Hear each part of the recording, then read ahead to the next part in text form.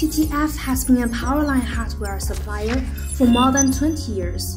Our partners are located in five continents, among 10 countries and regions.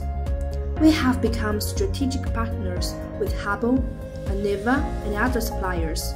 In the fields of power transmission and distribution, communication, mining, construction, and others, we have gained trust and acknowledgement from many long term partners.